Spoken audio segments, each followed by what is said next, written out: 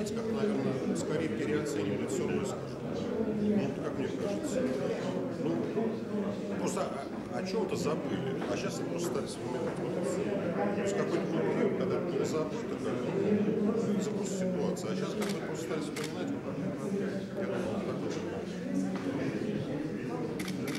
Знаете, дедушка. Да.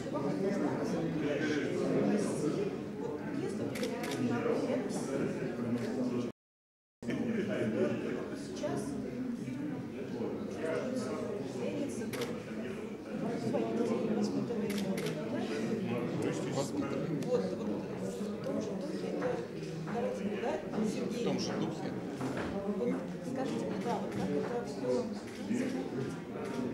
На самом деле, дело в том, что, наверное, нас хорошо привили, поэтому это легко сохранить, потому что это в себе, да, и вот эти вот юные годы, вот я там 13 лет, как девушка, помню, там, Дима было 17, да, вот, то есть мы как бы с ним жили, естественно, жили в той семье, которую он создал.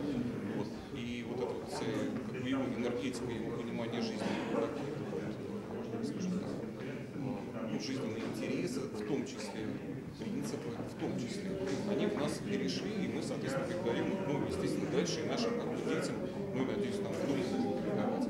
То есть, и это первый. И второй момент, естественно, мы как бы, ну, детям говорим, что вот у вас есть такой дедушка, ну, прадедушка, да, мы говорим, что это за человек, чтобы они понимали вообще, какая у нас там история.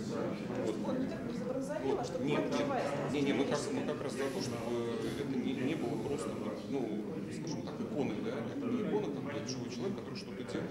И поэтому мы как-то пытаемся, ну, вот, там и своим мехом как-то сотрудничаем, с другими образовательными учреждениями, есть же школа имени Устина. То есть мы тоже передаем какую-то информацию о деде, да, куда приезжаем, общаемся с детьми, с музеями общаемся, и как-то пытаемся, ну, чтобы это не умирало все, да, и, ну, сейчас еще и обстановка все-таки, слава тебе Господи, хорошая для